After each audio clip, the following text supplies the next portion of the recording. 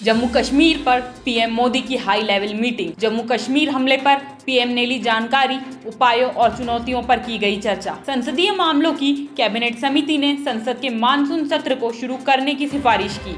19 जुलाई से 13 अगस्त के बीच शुरू हो सकता है सत्र। गृह मंत्रालय ने ढील देने के साथ राज्यों को किया अलर्ट।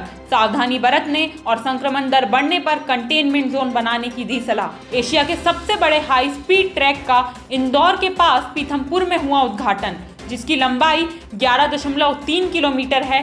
केंद्रीय मंत्री प्रकाश जावड़ेकर द्वारा किया गया वर्चुअली उद्घाटन। दक्षिण अफ्रीका के राष्ट्रपति जैकब जुमा को अदालत ने ठहराया अवमानना का दोषी। 15 महीने की जेल की सजा सुनाई गई। एसबीआई ने दिया बीएसबीडी खाता धारकों को झटका। एटीएम से पैसे निकालने और चेकबुक इस्तेमाल करना होगा महँगा। एक जुलाई से लागू होंगे नए सर्विस चार्ज। भारतीय शॉटपुटर तेजिंदर पाल सिंह टूर ने अंतरराष्ट्रीय एथलेटिक्स चैंपियनशिप में किया शानदार प्रदर्शन।